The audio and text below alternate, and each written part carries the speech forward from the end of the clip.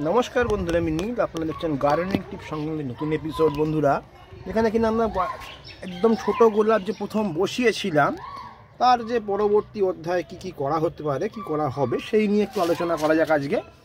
তো একদম আগের দিন দেখেছিলাম কিছু নতুন গাছ বসানো হয়েছিল। তো সেগুলো পর্যায়ক্রম এরকম, একটু ডালপালা সহকারে উঠছে। এই গোড়া থেকেই বেশ ঝোপস টোপস হয়ে উঠে মোটামুটি। উঠতে চলেছে, ঠিক আছে। তো এইগুলো দেখাবো, এই কি করছি বা কি ব্যাপার, এগুলো দেখাবার আগে কয়েকটা ব্যাপার নিয়ে আলোচনা করতে চাইব। সেটা হচ্ছে এই গোলাপ, ঠিক?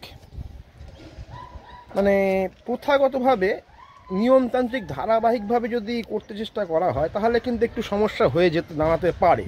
সেন কপি পেস্ট ব্যাপারটা গোলাপের নাও চলতে পারে? স্থানকাল পাত্রটা কিন্তু এখানে খুব গুরুত্বপূর্ণ একটা ভূমিকা গোলাপের, ঠিক আছে? তো সেই স্থানকাল পাত্রটা যদি ঠিকঠাক না হয়, তাহলে কিন্তু আর খাবার দাবারের যে বিয়েগুলো সর্বোপরি গোলাপ করতে গেলে আপনাকে দেখতে হবে যে মানে গাছ বুঝতে শিখতে হবে। গাছ বোঝা, গাছ চেনা, গাছের হালচাল, এইগুলো যতক্ষণ না জানা যাবে, ততক্ষণ কিন্তু একটু ক্রিটিক্যালি হয়ে দাঁড়াবে এই ব্যাপারগুলো। তার কারণ হচ্ছে কি নর্মাল ন্যাচারালভাবে যে গোলাপ মানে একটা ধারাবাহিকভাবে খাবার দিলে আমার হু হু হু করে হয়ে গেল, ঠিক আছে? এই ব্যাপারটা, এটা কিন্তু নয়। ওটা একটা অন্য গাছে, যেমন যে কোনো গাছে একটা ধারাবাহিক খাবার আরম্ভ করলেন দিতে, আর সেটার পর হুড় হুড় করে গাছগুলো সুন্দরভাবে এক এক ধারাবাহিকভাবে বাড়তে চলল। তো সেই ব্যাপারটা কিন্তু এখানে নয়, ঠিক আছে? পরবর্তী পর্যায়ে আসব, এই যে কুঁড়ি, দেখুন, এক পাঞ্জা করে কুঁড়ির ডান্ডা আসছে কীরকমভাবে বড় বড়, ঠিক আছে? তো আপাতত বলে রাখি এইগুলো একটু তার, ওই লটের কিছু একটু আয়কার গাছ, একটু আয়কার বসানো ছোটোর পর্যায়ে চলে, ছোটোর মতনই একই খাবার চলছে, ঠিক আছে?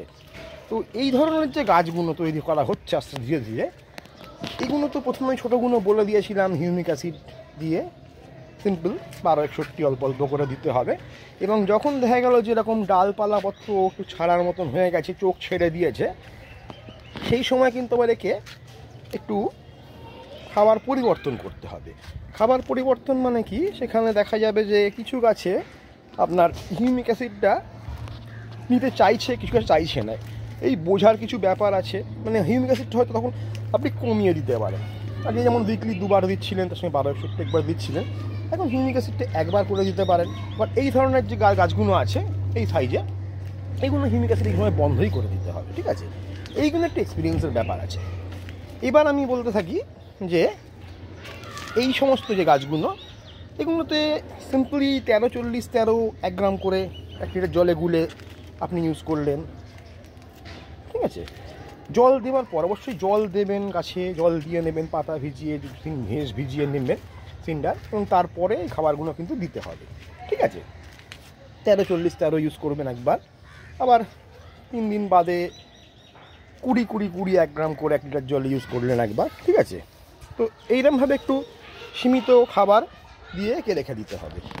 এই প্রথম থেকেই উৎকট ধরনের খাবার দাবার বিশাল একটা মানে গুরুগম্ভীর খাবার। তাহলে কিন্তু গাছের একটা চোট পড়ে যাবে। গাছে দেখুন যে শীতকালের দিকেও যে মাঝে মাঝে ব্যাসাল্ট নেয় না, তা না, মাঝে মাঝে একটু ভালো ইয়ে হলে যে নিচ্ছে শীতকালের দিকেও। ঠিক আছে, এই এই ধরনের ব্যাপারগুলো এইগুলো কিন্তু আস্তে আস্তে করে আসবে। এই এই জাতীয় গাছে কিন্তু। এখন যদি আমি আশা করি যে এই ধরনের বড় বড় যেগুলো আছে, এখান থেকে আমি এই সময় গোড়ায় ব্যাসাল্ট তুলে তুলে ফেলতে পারব, তাহলে কিন্তু সেটা খুবই মানে চিন্তাযুক্ত ব্যাপার হয়ে যাবে। এটা মানে বোকা বোকা বোকা জিনিস হয়ে যাবে। তো গাছের স্থানকাল পাত্র অবসর বিশেষ মানে সময় বিশেষে কিন্তু আমাকে সব কিছু আশা করতে হবে। মানে আমি এক্সপ্রেশন লেভেলটা যদি বাড়িয়ে ফেললাম, হুড় করে খুব তাড়াতাড়ি পেশেন্স লস করে ফেললাম, তাহলে কিন্তু গোলাপ করা সম্ভব হবে না। তো এই ব্যাপারটা মাথায় রাখতে হবে, এখন শীতকাল পড়ে গেছে। তো শীতকালে জলের ব্যাপারটা কিন্তু খুব ভাইটাল ব্যাপার। মানে আগে গরমকালে যেমন যতটা টেম্পারেচার ছিল যতটা এই ছাদ আপনি যেখানে করছেন এই মেঝে তার থেকে যে ফিডব্যাক করে যে টেম্পারেচার হিটব্যাক করতো কতটা বাষ্পীভূত হতো হেঁস বা কতটা গরম হতো বা গাছের পাতা, এখন কিন্তু শতটা নয়। তার ফলে এই ব্যাপারটা মাথায় রেখে একটু জলটাকে চাপার ব্যাপার রাখতে হবে একটুখানি। ঠিক আছে? জল একটু কমিয়ে দেওয়ার ব্যাপার থাকবে এখানে।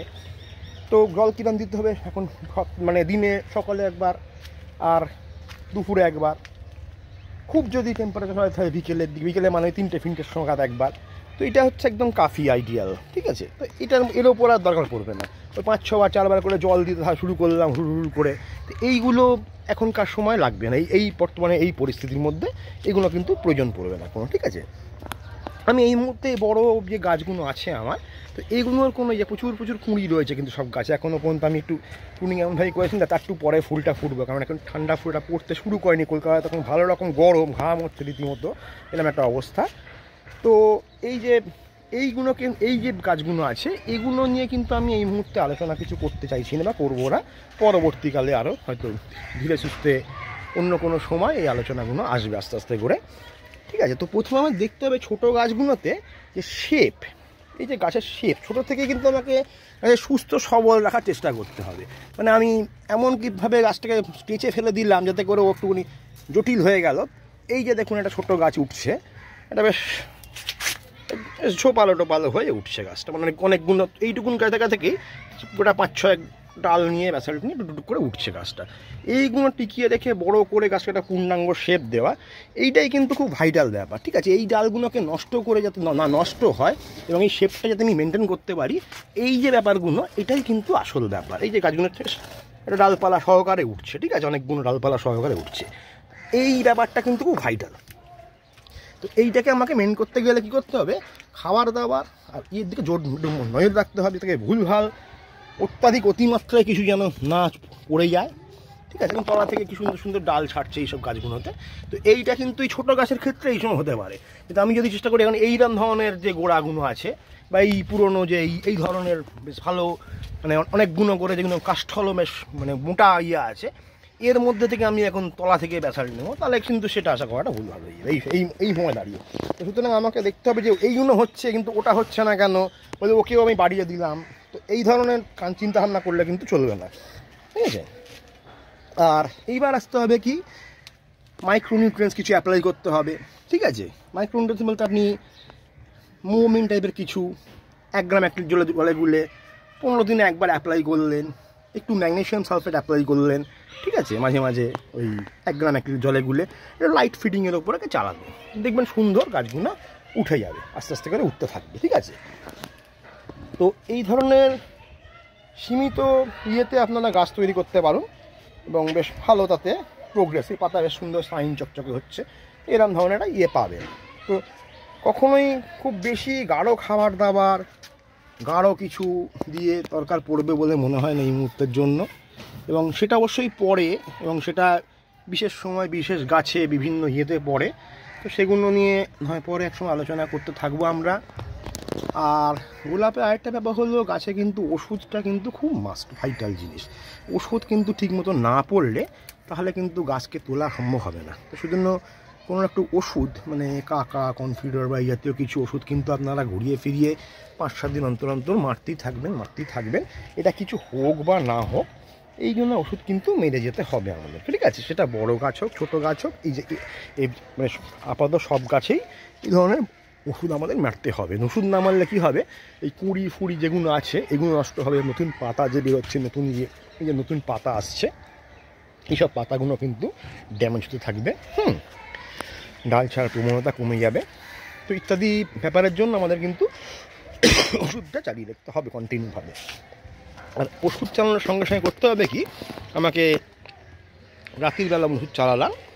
পরের দিন সকালে একটু মাঝামাঝি সময় আমায় গাছগুলো কিন্তু ধুয়ে দিতে হবে, পাতাগুলোকে চান করিয়ে ধুয়ে দিতাম। যাতে করে কী হবে, ওষুধের যে একটা ইয়ে সেটা আমার কেটে গেলে পাতাগুলো ফ্রেশ থাকলে পরে সলার বৃদ্ধিতে সুবিধা হবে এবং গাছের পাতা ফ্রেশ থাকবে।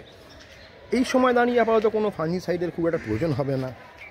কেননা ফাঙ্গাস যে সময় ফর্ম করে, যে টেম্পারেচার যে ওয়েদার বা যে ক্লাইমেট ফাঙ্গাস ফর্ম করার জন্য ফাঙ্গাস ফর্ম করার পরেও যে বংশবিস্তার করার জন্য, যে প্রজনন লাগে যে যে ক্লাইমেট সেটা কিন্তু বর্তমানে নেই। মানে অনেকেরই ধারণা আছে ফাঙ্গিসাইডটা একটা রেগুলার বেসিসে প্রয়োগ করা। কিন্তু আমায় জানতে হবে যে ফাঙ্গাস ফর্মেশন কেন হয়, কখন হয়, সেটার বংশবিস্তার বা বংশ বংশ ইয়ে ইয়ে কত তাড়াতাড়ি হয়, কোন সময়টা তাড়াতাড়ি হয়, কখন কি, এই ব্যাপারগুলো জান, যদি জানকারি থাকে, তাহলে দেখতে পাবেন যে এই মুহূর্তে ফাঙ্গিসাইডটা খুব একটা বেশি কিছু কিন্তু দরকার পড়তে পারবে না। আপনার ঠিক আছে? তো আপাতত কোনো প্রয়োজন নেই ফাঙ্গিসাইডে এই মুহূর্তে। এখন একান্তই দেখছি যে অতিরিক্ত কিছু মানে অধিক যত্নে কোনো গাছ নষ্ট হয়ে যাচ্ছে তখন সেখানে দেওয়াটা বাঞ্ছনীয়, সেটা দিতে হবে। কিন্তু মানে অধিক যত্ন না করলে পরে গাছে, তাহলে কিন্তু হাইসাইড দেওয়ার কোনো দরকার পড়বে না এখানে। আর বিশেষ কিছু না, জলটাকে একটু ধরে দিতে হবে বুঝে শুনে, ঠিক আছে? জলটা একটু বুঝে শুনে দিতে পারলেই কিন্তু জল যদি মেনটেন করতে পারেন ঠিকঠাকভাবে তাহলে কিন্তু আপনি মোটামুটি ম্যাক্সিমাম সময়টাই কেল্লা ফতে করে করে তুলেছেন, এটা মনে রাখবেন। ঠিক আছে? তো এখানে গাছগুলো ঠিকঠাক মোটামুটি উঠছে। তবে গোলাপ গাছ অ্যাকচুয়ালি মানে ঠিক করা মানে এই গাছটা লাগালাম, করলাম, এই ব্যাপার ঠিক না। একটা বেশ তিন থেকে চার বছরের প্রজেক্ট থাকে আর কি গোলাপটা ভীষণে। মানে প্রজেক্টটা কমপ্লিট করতে পারলে তবে একটা বেশ সুন্দর ইয়ে ধারণ করা যাবে। রূপ তো সেটার জন্য কিন্তু তিন থেকে চার বার ধৈর্য রাখতে হবে গাছটার পেছনে। মিনিমাম তিন ম্যাক্সিমাম চার, এটা অ্যাভারেজ আমি বললাম। যেমন এই যে গাছগুলো উঠছে, ঠিক আছে? এই যে গাছগুলো উঠছে, এই ছোটো থেকেই বেশ অনেকগুলো করে বেশ তলা থেকে ডালপালা নিয়ে এই ব্যাপারটাকে আমাকেই পুরো আরও বড় করে পূর্ণাঙ্গকে ধারণ করতে হবে। এখন আমি যদি দেখলাম গরমকালের দিকে কিছু কিছু গা ডাল নষ্ট হয়ে গেল, বর্ষাকালের দিকে আরও কিছু ডাল কালচে হয়ে গেল, সেটা অনেক সময় ম্যাক্সিমাম লোকের হতে পারে, হচ্ছে। তো সেই ব্যাপারগুলো নিয়ে কিন্তু পার্টিকুলার ওটা গাছটার প্রবলেম হিসেবে মেনে নিলে চলবে না, ওটা আমাদেরই মানে সেলফ ক্রিয়েটেড প্রবলেম যদি সূক্ষ্মভাবে দেখা যায় তাহলে পরে দেখতে ওটা আমাদের নিজের কৃতকর্মের ফলাফল আমরা ভোগ করতে চলেছি। করছি আর কি, এই যে ডালপালাইগুলো এগুলো কিন্তু প্রপার একদম সুন্দরভাবে থাকতে হবে। তো এই যদি ব্যাপারটা পুরো নখদর্পণে হাতে আসতে হয়, এটা করতে গেলে আপনারা কিন্তু গাছটাকে খুব ভালো করে পর্যবেক্ষণ এবং ঋতুর যে বৈচিত্র্য মানে সিজন চেঞ্জ ওই সময়ের যে সূক্ষ্ম ফারাক বা ইয়ে এইগুলো কিন্তু মাথায় রাখতে হবে, ঠিক আছে? মানে একটু জটিল আর কি। মানে দেখুন, গাছ লাগালাম হুড় করে কটা বাড়লো কটা ফুল দিল, তো সেইটা যদি করতে চাওয়া যায়, তাহলে পরে কিন্তু সে যে কোনো জায়গাতেই গোলাপ গাছ সব সময়ের জন্যই করা যাবে, এক এক এক বগি গাছ। কিন্তু আমি যদি কমপ্লিট ভালোভাবে করতে চাই, তাহলে কিন্তু একটু আমাকে একটু নজর দিতে হবে এবং তার সঙ্গে পরিবেশ ক্লাইমেট এই ব্যাপারগুলো কিন্তু পুরোপুরি আমাকে নজরে রাখতে হবে। ঠিক আছে? তো এগুলো নজরে রাখার একটুখানি কথা না মানে প্রতিনিয়ত মনে হবে যে এই বছর যা জানতাম হয়তো এই বছর দিকে দিগ্গজ দিগ্গজ মনে হতে পারে একটুখানি। পরবর্তী পরে পরের বছর সেই সময় দেখবেন যে একটু বোকা বোকা লাগছে বাবা তখন তো এটা বুঝতে পারি, জানতে পারিনি। মানে এই যে ব্যাপারটা প্রতি বছর একটু করে মানে নলেজ বা জ্ঞান বাড়বে এক্সপিরিয়েন্স সাথে সাথে, এটাই হচ্ছে গোলাপের বেশ শেখার মূলধন আর কি, করার মূলধন। মানে প্রথম বছরেই বা দ্বিতীয় বছর যখনই, প্রতি বছরই মনে হবে যে, বাহ, এবার মোটামুটি আমি বেশ একটু হয়ে গেছি দিগ্গজ বা আমি জ্ঞান বেশ অনেক কিছু করে ফেলেছি, অনেক কিছু জেনে ফেলেছি, মোটামুটি ভালোই করে ফেলেছি। ঠিক সেই পরের বছর সেই সময়টা দাঁড়িয়ে সেই অবস্থায় মনে হবে এই মা, আগের বছর তো ওটা এতটা বোকা ছিলাম ওটা জানতে পারতাম না, এটা তো একটু ভালো হতো একটু হতো। এই যে এটা মানে প্রতিনিয়ত যে আপগ্রেডেশন সূক্ষ্ম দৃষ্টিভঙ্গির সঙ্গে সঙ্গে, এটা কিন্তু জারি রাখতে হবে, এটা কিন্তু বয়ে থাকবে এটা যখন স্যাটিসফ্যাকশন লেভেলটা যদি একদম ফুলফিল হয়ে যায় আপনার, যে আমি ভাই দিগ্গজ হয়ে গেছি, আমি অনেক কিছু জেনে গেছি, তাহলে পরে কিন্তু গোলাপ কখনোই করা সম্ভব হবে না সেই লেভেলে বারবার বলছি সেই লেভেলের কথা বলছি মানে এটা বেশ ভালো লেভেলে কিন্তু এক এক এক ডলারের গোলাপ যখন তখনই হতে পারে। তো যাই হোক, মোটামুটি এটা ইতিবৃত্ত আমি কথা বললাম এবং অনেক কিছু কথাই বললাম হয়তো, সেটা হয়তো কারোর ভালো লাগতে পারে আবার কারোর নাও ভালো লাগতে পারে, কিন্তু এগুলো বলা উচিত মনে হলো, এটা বাস্তব কথা সেটাই বললাম। তো এভাবে আপনারা ওই কুড়ি কুড়ি, বারো, একষট্টি, এই দুটোকে অল্টারনেট করতে পারেন। সঙ্গে তেরো, চল্লিশ, তেরো অল্টারনেট করতে পারেন এই এই ধরনের ছোটো গাছের জন্য। ঠিক আছে? এবং তার সঙ্গে হিউমিক অ্যাসিডটা এখন এই সময় বন্ধ করে দিতে হবে। একেবারে খুব ছোট যখন এই এইরকম ধরনের অবস্থা গাছের হচ্ছে, এই ধরনের কাজ, এই অবস্থা। এখানে কিন্তু হিউম্যান চলতে পারে মাঝে মাঝে একটা করে হয়তো দশ দিনে বা ইয়ে সাত দিনে। কিন্তু বাকি এই ধরনের গাছ বা ওই ধরনের গাছ এখন এই মুহূর্তে হিউমিক অ্যাসিডের কোনো প্রয়োজন পড়বে না। ওই ধরনের কেমিক্যাল মাসে একবার করে, দুবার করে একটা মাইক্রোনিউট্রেন্স মোমিন টাইপের কিছু না মাইক্রোনিউট্রেন্স ম্যাগনেশিয়াম সালফেট দিকে একবার। এরমভাবে অল্টার করে ধীরে ধীরে একদম একটা জলে গুলে গাছ তৈরি করুন, আস্তে আস্তে করে গাছ উঠবে। মনে রাখতে হবে গাছের শেপটা কিন্তু আপনার হাতে নির্ভর করবে। মানে গাছকে কমপ্লিট ব্যালেন্স বা পোষণ খাবারটা দিয়ে আপনি কিন্তু তাকে শেপ দেবেন। সেটা সেটাতেই সূক্ষ্মতা অতিরিক্ত কিছু করে ফেলবেন না, আবার কমতিও কিছু করে ফেলবেন না। এই দুটো ব্যালেন্স করে যখন করতে পারবেন, তখন দেখবেন গাছগুলো বেশ সুন্দর একটা বেশ মানে পূর্ণাঙ্গ রূপ ধারণ করবে। এবং সেটা কিন্তু একদিনে হবে না আবার একটা সময় আসবে তখন হু হু করে গাছের প্রোগ্রেস আরম্ভভাবে বাড়া শুরু হবে এবং সেই বাড় বাড় বৃদ্ধির পরে যেটা ধরে রাখার প্রবণতা সেটাও একটা ভাইটাল ব্যাপার। বাড়টাকে ধরে রাখা, এই পুরো কমপ্লিট প্রজেক্টটা তিন থেকে চার বছরের মাথায় রাখতে হবে এবং ধীরে করতে হবে। কিন্তু আজকের দিন পর্যন্ত নমস্কার। পরবর্তী এপিসোডে আবার হয়তো দেখা অন্য কোনো অধ্যায় নিয়ে, অন্য কোনো বিষয় নিয়ে। ভিডিওটি ভালো লাগলে লাইক কমেন্ট করবেন শেয়ার করবেন। চ্যানেল সাবস্ক্রাইব করতে কখনোই ভুলবেন না। নমস্কার।